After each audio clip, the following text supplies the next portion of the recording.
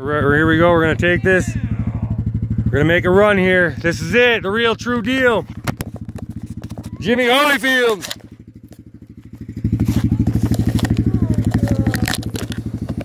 All right, let's do it. Should be good. Great.